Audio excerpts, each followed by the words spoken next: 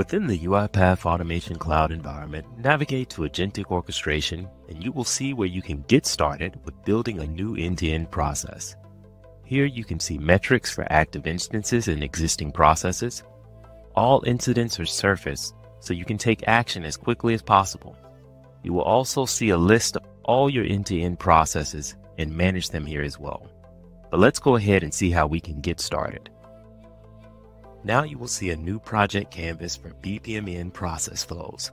This is a new project type that is also accessible from UiPath Studio. You can start a new project from scratch in the canvas area, or you can import an existing BPMN file. We have posted documentation for agentic orchestration and included several process templates to help you get started. Coming back to our canvas area, I will import a shortened version of our loan processing template.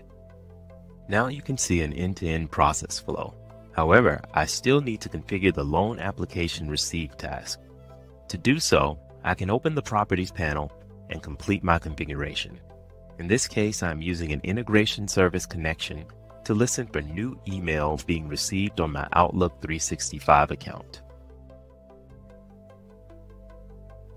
My other tasks, including the automation for initial document review and the connector activity for requesting additional documents, were pre-configured in the imported template.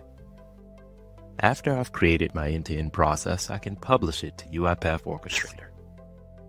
Going back to our main agentic orchestration screen, I can view all my process instances.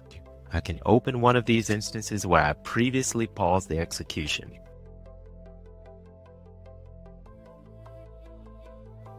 After clicking resume, I can see the rest of the end-to-end -end process steps complete. To learn more about agentic orchestration tools, variables, debugging, and versioning, please check out our documentation and how to